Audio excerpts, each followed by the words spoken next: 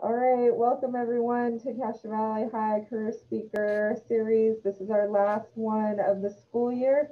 Um, so we're excited today to have Dash Oliver, who is a Castro Valley High alum. And so um, I will let him introduce himself and share um, some information, and then I'm going to ask him some questions. Uh, we'll go through like a little interview here. So if you want to first just share a little bit about yourself? Sure. Um, hi, everyone. My name is Dash Oliver. I went to Castro Valley. I graduated back in 2009. So it's been a little while. After that, I went to UC Berkeley. That's where I got my college degree at. And after that, I was trying to figure out what I wanted to do for a career. And luckily, I was able to find my way into the fire service. And I've been on now for about about a year and a half or so, uh, two years if you include the academy. I'm down in San Jose, so really big city. It's a lot of fun, but um, don't have a whole lot of information except for whatever questions that you guys may have. But I'm happy to be here and happy to answer anything that you guys may have. Um, and if anyone has questions, go ahead and put them in the chat and we'll be able to ask them.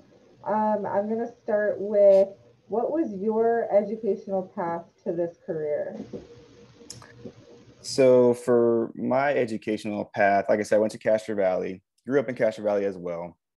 And then after I graduated, I went to UC Berkeley and I got my undergraduate degree there in legal studies. So, my initial career that I wanted to get into was get into law school and eventually become a sports agent because I played sports in high school and in college. But by the time I was almost done with my major, I knew that wasn't the pathway for me. I didn't want to become a lawyer or a sports agent or anything like that.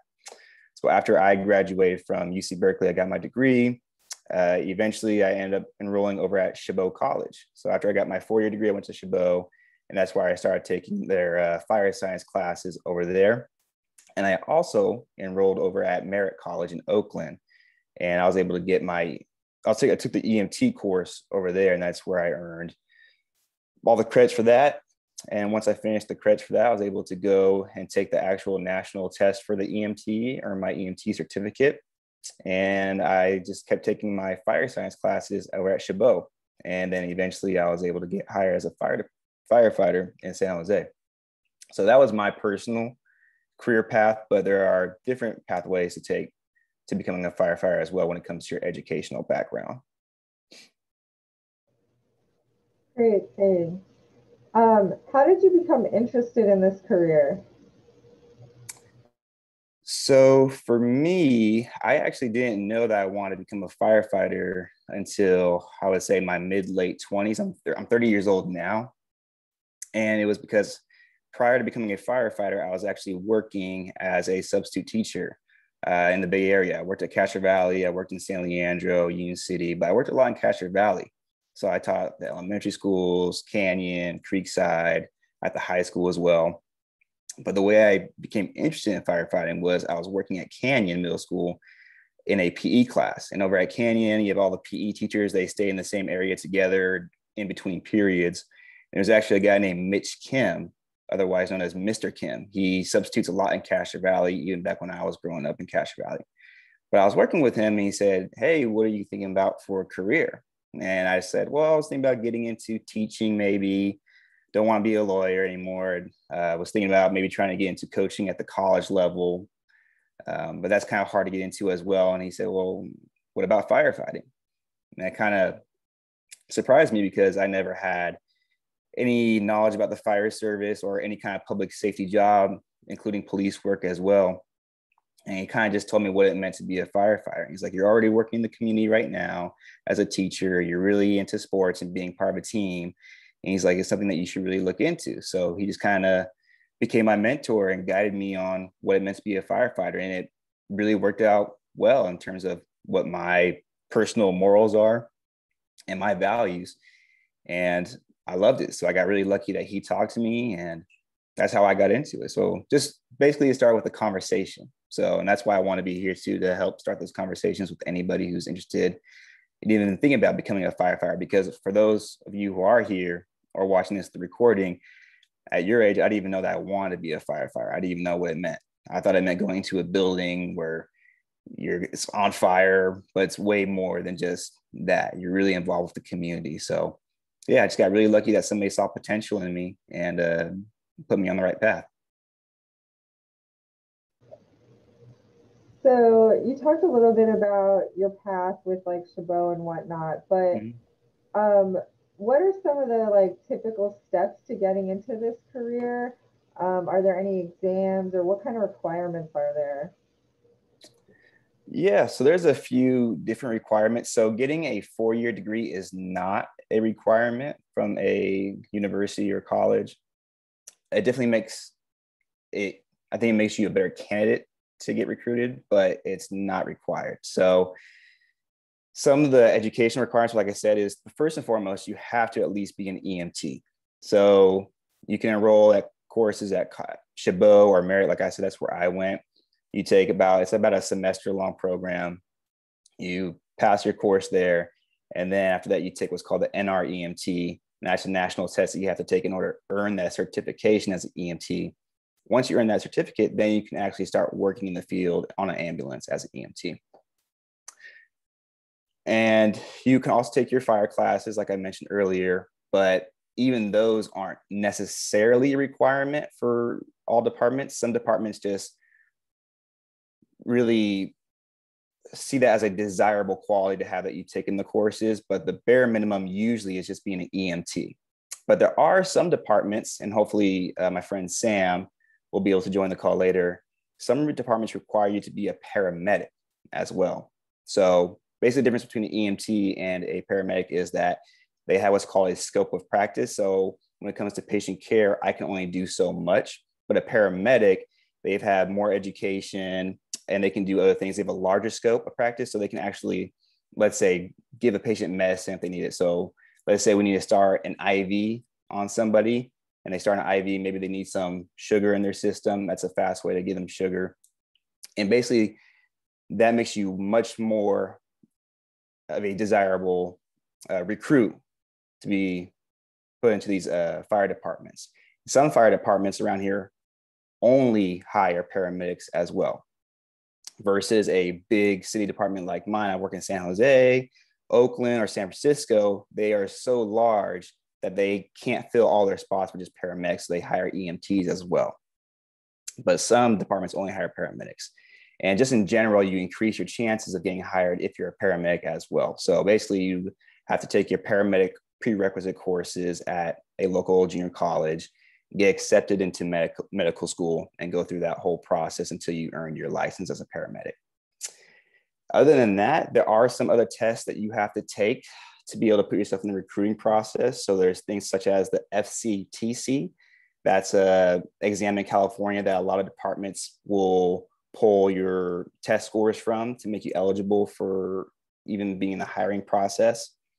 And there's also the National Testing Network. So it's the same, it's pretty similar to the FCTC, a little bit different though. Some departments pull from the National Testing Network, some pull from the FCTC. It's very rare now to see fire departments put on their own test for you to come in and take.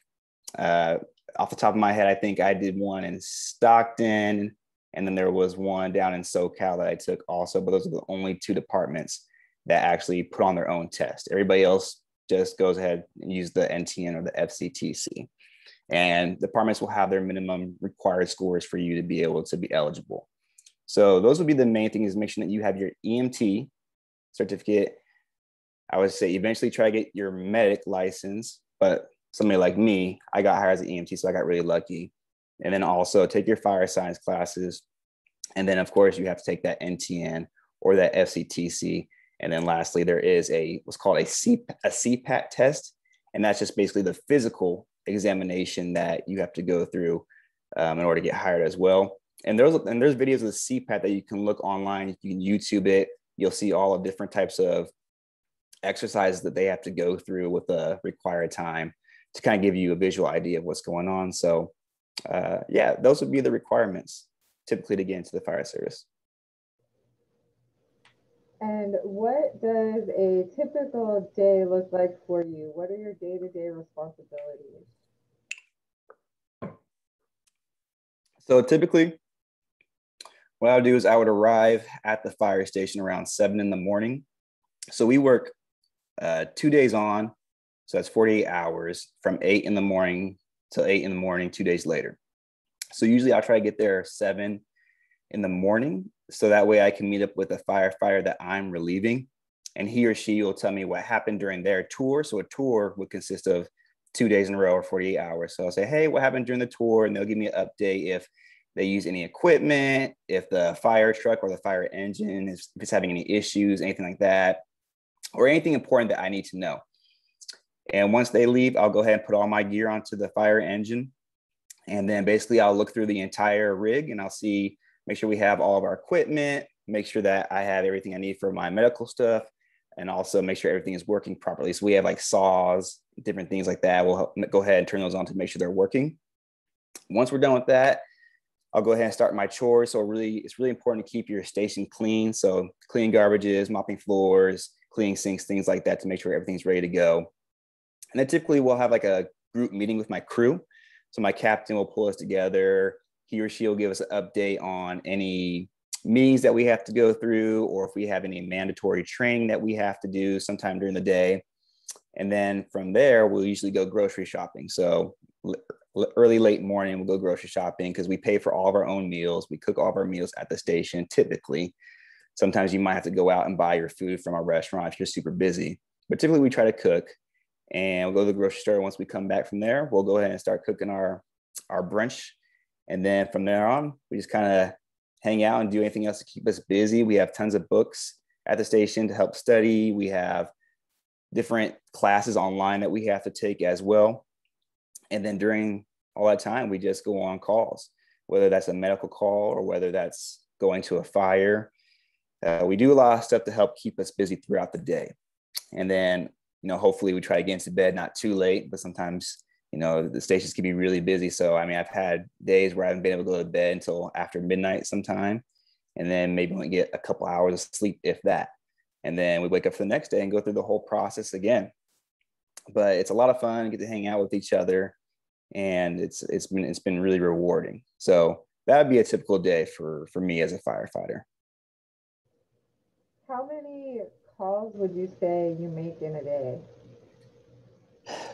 So it really depends where you're working. So a big city like San Jose is typically a lot busier than other places. So if you're thinking about areas such as like Fremont would be slower, Milpitas, those cities, they don't get nearly as many calls as we do.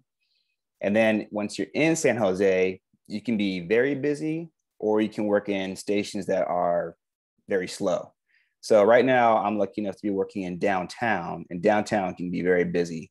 So I think this last tour, so again, tour for 48 hours, I probably went on more than 30 calls and that's that's a lot of calls you know and a call can take anywhere from 10 to 30 minutes to if we go on a big fire you could be on a call for five six hours. So a long time. And then you can have your days where you might have 10 calls or if you had a really slow station you can have five or less calls so it just really depends on where you are so for me a typical day i would say i would get at least 15 calls in a tour Uh, can you share a story about one of your like interesting calls that you went on? There's a lot of interesting calls for sure. I would say we did have one call where, so when, when you have a big fire, you have what are called alarms. So you have a first alarm, second alarm, all the way to five alarms. So a first alarm fire would be like it's a smaller house fire or a structure, all the way up to a fifth alarm, that means you're using almost all your resources in the city. You have tons of engines, tons of trucks that are coming. You may even be having help from nearby cities coming to help put out that fire. And we got to a fire and it was a fourth alarm fire. So it's really big. It was a structure with a bunch of, I think, different roofing materials. It was really large. So we, you're not going to go into the building to try to put out that fire. It's too dangerous. So basically, you do what's called a surround and drown. So we take off our hose lines. We get there. I go up to the captain. They tell me what they want. I say, I want you to grab a hose line, bring it over, and bring what's called a, uh, a blitz nozzle. So I said, okay. And it's sunny outside. It's really hot. This is about a year ago, and I'm walking, and then as I'm walking, there's all these other trucks that are spraying water from way above. You have these aerial ladders that go really extend. They'll extend about 100 feet in the air, and they spray water from above. So I'm walking. It's sunny outside. I'm like, oh, this is cool, or whatever. And right as I start walking, I get to where all those trucks are spraying all the water, and all of a sudden, it feels like I'm in a rainforest. And, I, and at that point, I was like, wow, like this is it. Like this is a really, really serious big fire because the weather changed like that. Um, so it was really fun to kind of be in that atmosphere. I got to set up my hose line. I got to put the big nozzle on there, set up and attack the fire. Meanwhile, I have all this water from the trucks just spraying on me. Um, you can see all the smoke coming. So I put on my mask. I'm breathing from my air tank behind me on my back. And you see all these other firefighters coming in and coming out, putting water on the fire and everything like that. So uh, it was just kind of fun to be able to see how a large fire operation works. Because, like I said, we had a bunch of engines and trucks from all over the city, but then I see uh, Santa, Clara, Santa Clara County Fire Department was there to be able to help us out too. Um, and then I would also say another interesting experience was what's really big and it's already starting right now are the wildland fires in California. And I was lucky enough to be able to go to Napa Valley in the glass fire. I was only there for a few days, but it was really cool to be able to see how there, I mean, there are fire departments from all over the country and the world coming there to fight those fires. I mean, there was departments from SoCal I never heard of, but there was the Los Angeles County was there, the city from Los Angeles was there as well. And then I see other departments like Hayward, Alameda County, Fremont, they were there too. But it was just this huge operation. I mean, they they have these portable showers for the firefighters who are sleeping at the actual fire grounds in their tents. Um, it was just be able, it was just really cool to be able to see all that come together because you have not just the firefighters there, but you have this this state puts on a little area to help provide you meals. There's also a program in the um, prison system where they have uh, prisoners who come out who are able to help us with the fires too, as well. And you see them going to work and putting a lot of a lot of hard work to help us out too. So it's just this whole operation that is just super complex. And me being early in my career, I had I have almost no idea how any of that works. But to be able to see that whole thing get put together was really fascinating. So that's one good thing about working in a big fire department is you get to go see these big operations that you might not typically see at smaller departments. So those are a couple of cool cool calls I've been on. Of course, there's been a lot of other crazy calls that I probably don't want to go into details about as a firefighter. But um, yeah, there's been a lot of great stuff there. What do you like best about your work and what do you not like about your work? What I like best is anybody will tell you as a firefighter they love being able to serve, serve the community. And for me, that's big because before I was in the in the fire service, I've been a volunteer as a coach for football and track. I was again working as a substitute teacher in Castro Valley and other cities around the Bay Area. So I was always involved in the community. So that's what really is fulfilling for me is to be able to help on a daily basis. And there are days where I'm working in downtown and like I said, we'll get 30 plus calls in a tour and you are you are tired. During during the time you are very tired. But once I get relieved and I start heading home and I'm driving my car, I have a really satisfied feel satisfying feeling of I I did something. I really helped out the the folks in San Jose. And it's really fulfilling.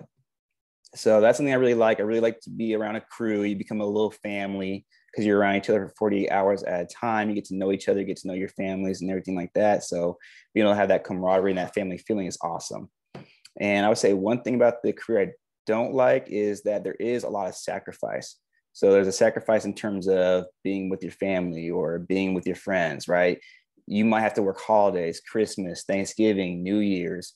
Um, we have firefighters who have children, they're missing on birthdays some days.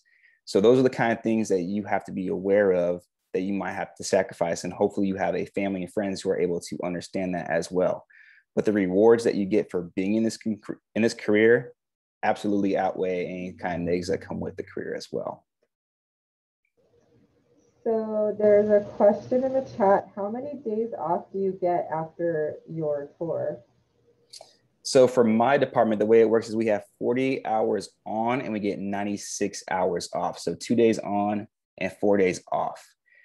Uh, but there are similar departments, like I think San Francisco, for example, I think they do 24 hours on and 48 hours off. So they'll do two, one day on and two days off.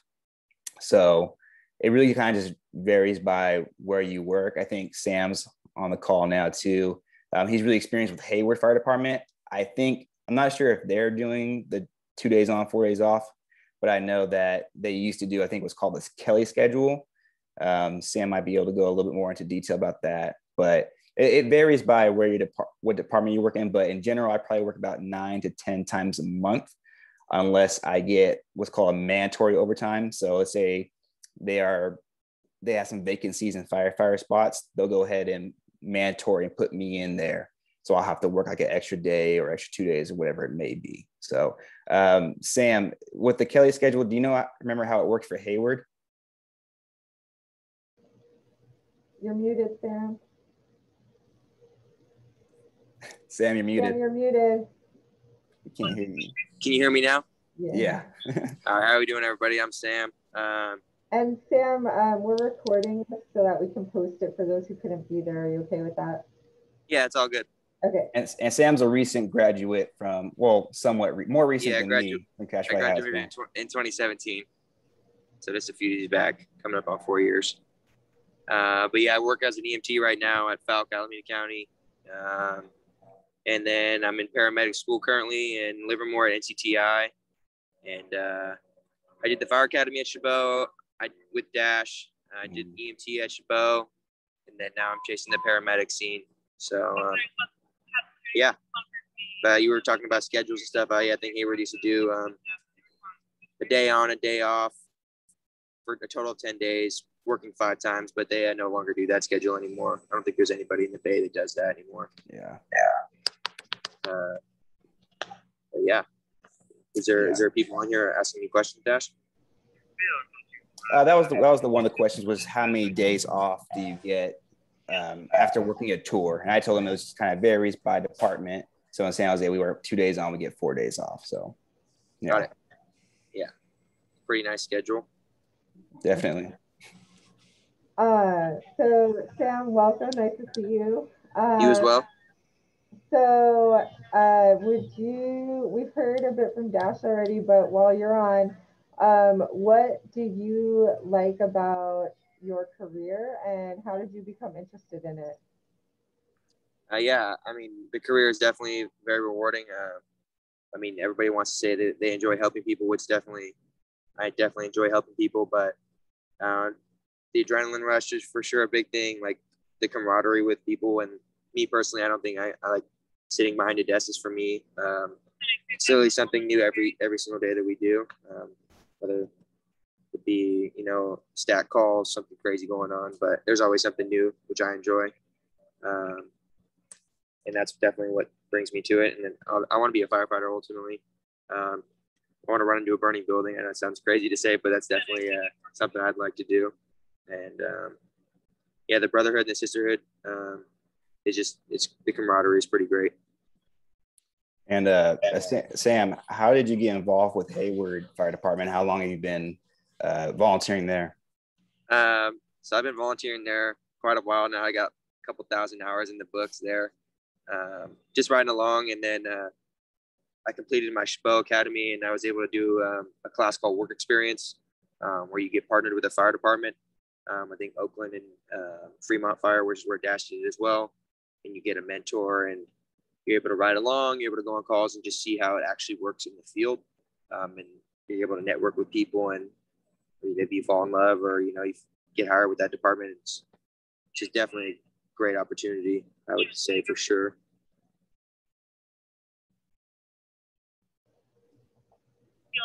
Um, for either of you, what are some? Uh, so I guess like that's one way to start getting connections is through like the work experience class. Um, what are other ways like effective approaches to job search or how to look for you know making those connections to to get their foot in the door? Um, I would say, especially in high school, uh, being in Castro Valley, I believe Alameda County Fire Department has an Explorers program. So usually they'll take individuals who are interested in the fire service, and they could be anywhere from like I don't know, maybe 15 years old to like their early 20s, and they can be an explorer. And basically, what that means is you'll basically be a volunteer for the department. They'll help train you. They'll give you more knowledge about what their fire department is and what they do. And you can also maybe even uh, meet a lot of different folks in the fire department as well. So I know Sam and I have a couple of buddies from our Chabot Academy who are explorers in Fremont, and they were able to get a lot of training with those guys over there, those men and women, and they were able to make a lot of connections with them as well. And the significance of that is if you want to get hired, it's a resume builder first and foremost, but also it helps you lay a foundation for your skills as well and getting a better understanding of the fire service. It's a good way for you to be able to see, hey, is this a career that I'm even interested in and would want to be involved in? And if it's not, then you know right away it's not versus getting into the career and end up hating it. And then you have to find a way to, to basically quit, right? But it's a great way to be able to build your foundation through the Explorers program, be able to meet, meet people. And then also just, I would say at our classes at Chabot, right, Sam, we had our teachers were captains, they were chiefs of different departments. And that was a way for us to be able to meet them, right? And Absolutely. And one thing just to add on to you, um, talking about the Explorers and the, um, the reserve program. Um, so I, I, currently actually have an interview with the reserve program for Alameda County in a couple weeks. Um, and like Dash said, you're going to be able to network with so many people with that, that with that opportunity, uh, helping work their events, like their pancake breakfasts or their walks for fundraisers, stuff like that. And uh, you're going to be able to, like I said, he's saying, you're the, the amount of people you'll be able to network with, and you know, Dash works for San Jose, and then you know somebody in San Jose knows somebody from Oakland, you know, and you're able to you know network just incredibly through that. And um, yeah, I, agree with that. And Fremont, our buddy was an explorer in Fremont. He's now an Alameda County firefighter in the academy there. So definitely like you know reach out to people and you know even fan members don't be don't don't hesitate don't be afraid to you know at least go say hello to a firefighter or something that's that's definitely true so one thing in the fire service you have to be able to talk to people. And for me i'm much more introverted and more reserved. And i really had to learn how to be able to open my mouth and ask for help when i needed it. So we had a chief chief Przebrowski, who's a chief over in santa clara county. He was a real key role for me when it came to building my resume. And I mean, this individual, he he would destroy my my resume, but it was really helpful because I got to see from a chief's perspective, right? So you're at the top of the food chain for the hierarchy in the fire service. He was able to tell me what he looks for in firefighters from his experience, how to make your resume as clear as possible. And that was a huge help. But in order for me to get that, you know, one saying that I learned is that a closed mouth doesn't get fed, right? So you have to be able to open your mouth and be able to ask for help when you need it. And I, like I said, that was something that was challenging for me when I was growing up because I am more reserved and more introverted versus somebody like Sam. He's very personable. He gets along with everybody. He's perfect for the fire service. So that's not really an issue that he's going to have. But for somebody like myself and maybe somebody who's watching this, you do have to be able to talk to people. But that, that just comes with times of being able to learn how to open up and talk with individuals And at the end of the day, it's going to build your skills. You're going to meet a lot of people, and it's just going to help you with your growth and moving forward in the fire service. Absolutely. Be, be, uh, be comfortable getting uncomfortable. Yep, absolutely. Absolutely. So you mentioned a little bit earlier about like some of the sacrifices you might have to make. Um, mm-hmm. What would you say? Uh, how is your work-life balance overall? For me personally, it's been pretty good. Um, I, I live with my significant other, um, and we've been together for a while. And I was a student athlete in college. So she, for example, is very used to me being gone for days at a time, whether I was at a competition, a track and field competition, or a football game, whatever it may have been. So she's used to me be used to me being very busy. So kind of moving to the fire service, it still has its challenges, of course, and it's tough to have that time away but we've been able to kind of be able to get used to that process. And I think what also helps is just being able to have an open line of communication with your family or your friends or whatever it may be. But also being able to find ways to be able to take care of yourself on your days off as well. Uh, making making sure that you get your rest, but also making sure that you have a social life too with your friends and doing things that you enjoy when you are away from work because in the fire service is really important to be able to take care of yourself physically because you're going to be working for 30 years at least. So you got to make sure your body's okay, but also taking care of your mental status as well, whether that's talking to your friends, your family, or to a professional, whatever it may be, um, to be able to help find those balances. But definitely having that open line of communication with those around you.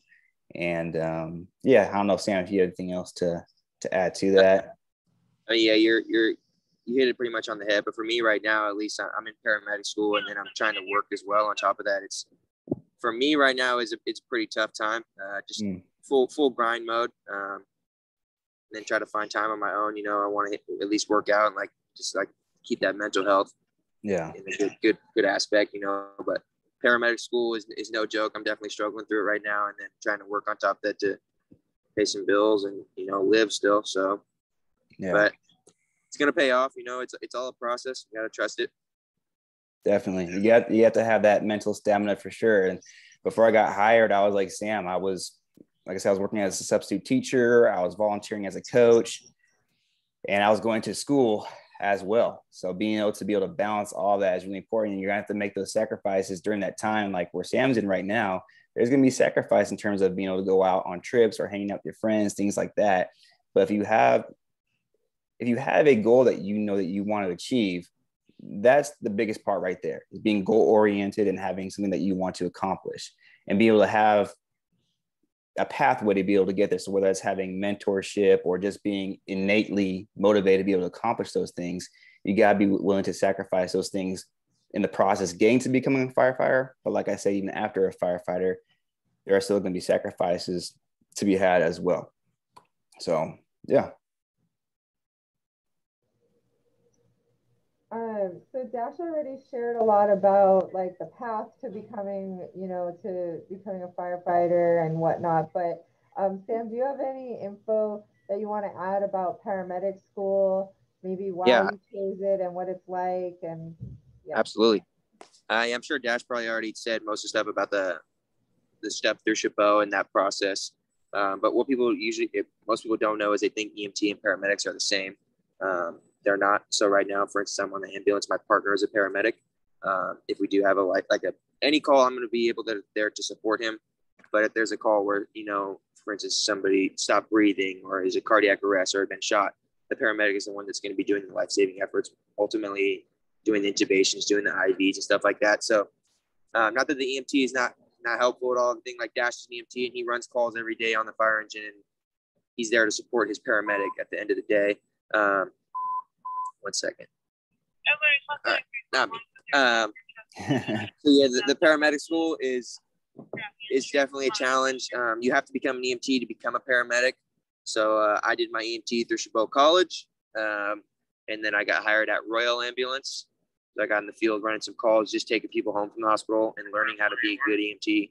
And then after about six months there, I got hired at, Fal- at Falck right now where I work and um, run 911 calls. Um, and then I'm working here's right now, uh, part-time status, and I'm in paramedic school.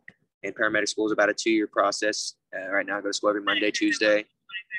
And then uh, once you finish the in-class portion, you have to do a hospital time for 160 hours. And then you have to go do a clinical time on an ambulance with a preceptor, and that's a minimum of 460 hours. And all this is unpaid.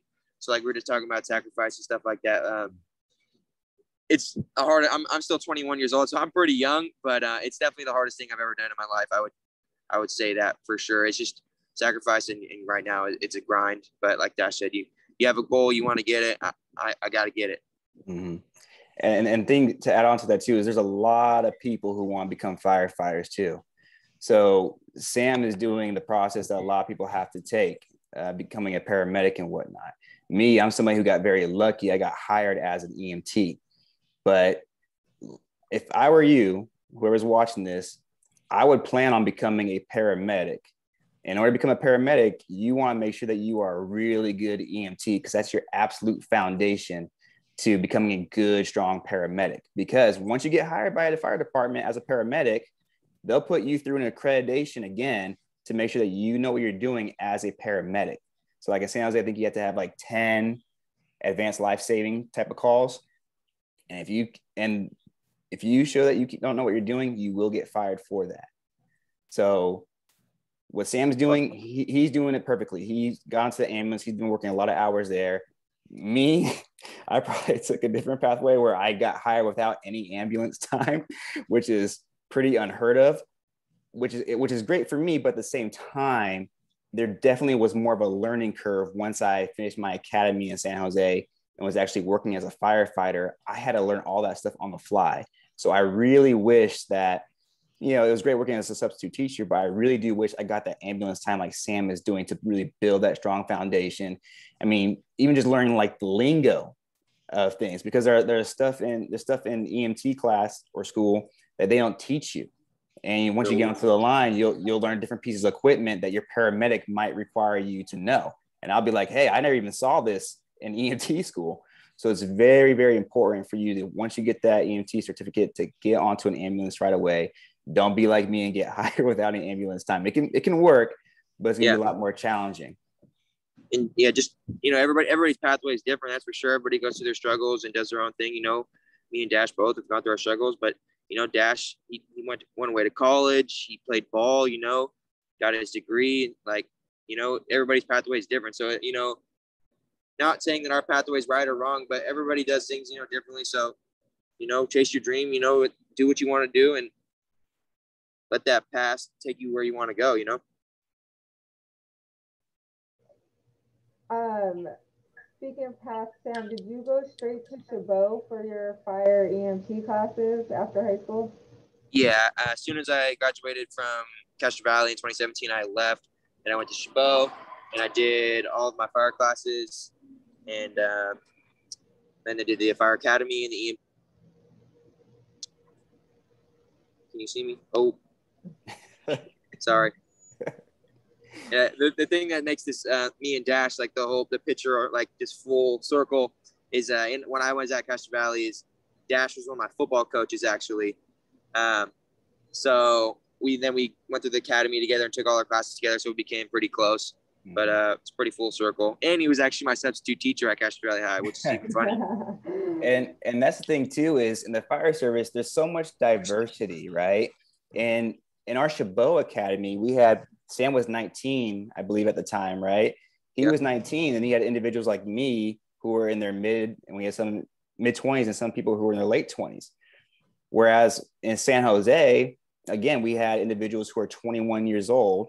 And then our oldest recruit in our academy at San Jose was 45 years old from Peru.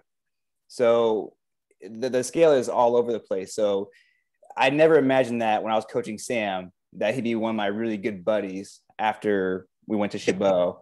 But it, it really, once you go through the, the fire service, even at the Chabot level, it really bonds you guys as friends and family. And, um, you know, I'm really happy that I was able to get to know him beyond just coaching, you know, because back then, honestly, I looked at him as a little kid, you know, but now I look at this guy like he's he's one of my brothers for sure. So, um, yeah, you just you just never know who you're going to meet and who you're going to work with. So, yeah, it's fun experience. Absolutely. Um, so again, we can take questions in the chat, um, but in the meantime, um, my last question for you guys is, what advice would you give your high school self? For me, uh, back in one thing I would tell myself, or a couple things I would tell myself, is to be more personable. I was I was so reserved and so quiet that I didn't allow myself to get to know other people. I didn't let other people get to know me. That was just my personality. But I wish I tried to step outside of my comfort zone by being more personal and more extroverted, be able to talk to people because you need those skills, not just when you're working with people in your fire station, but you're going to go on calls with strangers and you got to be able to talk to them. So I would tell myself, don't be so cold, I guess. Be more like Sam, who's very personal. He'll talk to anybody, no problem. And I would tell myself, hey, you know, think about a career beyond just sports. Because, like I said, I thought I was going to be a sports agent. I thought I was going to, I thought I had a chance of becoming a professional athlete. yeah. And, um, but just tell myself, hey, like, look at other careers beyond being in an office or, you know, being on the football field or whatever it may be and um, just to keep working hard and keep your head straight. Because I'll tell you this is if you do get hired by a fire department, they're going to do a very, very thorough background investigation on you. They're going to want to know where you grew up. They're going to know where you went to school. They're going to want to know who your boyfriend or your girlfriend was. They're going to want to know your family history. They're going to want to know have you taken any drugs in the past? Did you get in trouble with the law before? Things like that. So I would tell myself, and I, I had my head on straight, of course, in high school. I tell myself, stay on that path, keep working hard, keep your head on straight. Don't get deviated somewhere that's bad. Don't make sure you have surround yourself with people who are going to be a positive influence in your life. So those were a couple things I would tell myself back when I was in high school. Uh, me, on the other hand, yeah, like Dash I was kind of like a super outgoing person. Uh, uh, I think the biggest thing with my generation and the generation below me, I'm still young, like most of these kids in high school, is social media. Is uh, you really, really, you can't. You got to watch what you post because, like Dash said, they're, they're gonna find it. It's it's gonna come up. Um, mm-hmm. Not that I ever posted anything like terrible or anything like that, but something that you would think is nothing is is going to make and say somebody else doesn't have that in their background check, but then they see you, that it's, it's going to be a red flag. You know, even if you did it when you were 17 years old, they're going to be they're going to pull it up. And, Why why'd you do this? What, what were you doing here? And then I I was never like the best student. Um, test taking was always a struggle for me. Um, I would just say like use your resources to help you because they're there, um, like counselors and stuff like that. You know, to, if you're struggling, you know, don't be afraid to ask somebody for help.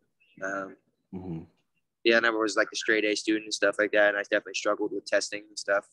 But mm-hmm. um, I think you know, just use your resources while you can, like, but also enjoy your enjoy your time. You know, mm-hmm. you're, you're only going to be in uh, high school, you know, so well, have fun and learn learn what your tools are too. I mean, physical tools tools. I don't know how many of you know the difference between a flathead screwdriver and a Phillips screwdriver, but there's a whole lot of tools that you got to become familiar with. So don't be afraid of learning more about the trades, even if it's plumbing, things like that. Learning how to do a blue collar job and working with your hands. It is a blue collar job. So you got to learn all your tools. And me being a millennial, I'm not sure, Sam, are you Gen Z? Are you considered a millennial? I'm not sure. Gen so, Z. so being, I was not very familiar with tools at all. I had to learn all that once I started getting into the fire service. So learn some tools or even do a Google search on tools that are used in the fire service, learn them and just become familiar with them just so that you're better prepared for the fire service. And like Sam said, you know, just make sure you're, you're, you're trying hard academically because once you get into an academy, it's very demanding physically and academically. We're not just learning how to put up ladders or how to pull a fire hose. They're going to be giving you weekly tests, maybe even daily tests, not just on fire stuff, but on medical stuff as well. So you have to be able to be prepared academically as well. So don't slack off in high school. Make sure you're preparing yourself for college, whether that's getting a bachelor's or going straight to Chabot College for your fire science classes or getting your EMT, whatever it may be. Build that foundation now and those skills that you're prepared for that next step. Um, and last question from the chat. What do you see for yourself and your work in the upcoming years? Um, well, like I said, so for us, we have to work until we're age 57. So for me, I got hired at 28, but I'll probably work a full 30 years. So I see myself really trying to get more involved, continue to learn as a firefighter. I really want to get involved with the training aspect of the fire department. So we have a whole training facility, and when we have recruits come in, getting more involved with the academy and help building their skills as well and just trying to get involved in the community as much as I can in San Jose. Um, it's a little bit tough right now because I moved out to Sacramento, but I would love to get more involved with San Jose itself. And then eventually one day, I don't know how many years, kind of depends, you know, where I'm at with my family life, how I am physically, if my body's holding up, but eventually want to be able to promote to become an engineer. So an engineer is an individual who drives the apparatus, so an engine or a truck. And then maybe one day, many years down the road, maybe become a captain. Of course, there's also a, the ability to become a, a, chief as well. But that's way that's that's out of my sights right now. Right now, it's just trying trying to become the best firefighter I can within you know I guess if I'm putting a number on it, ten years, right? I don't know exactly, but just taking each day and trying to make the most out of it and trying to become a better firefighter that I can. So that's kind of see where I see myself in the next few decades. Uh, me, on the other hand, I, I, see myself becoming a paramedic in the next year. I, I sure hope. Uh, it's definitely going to be a grind. Uh, I see myself reaching some fitness goals, you know, keeping up with that, running all the time. Uh, and, you know, maybe hopefully be a firefighter in the next year or two. I mean, that's definitely, it's in the horizon. I know I just got to keep at it. Um, but yeah, and just keep, keep it healthy, keep, keep my family good and just keep working hard. Thank you both so much. This has been amazing. Um, for everyone watching, thank you and reach out to the Castro Valley College and Career Center if you want more information.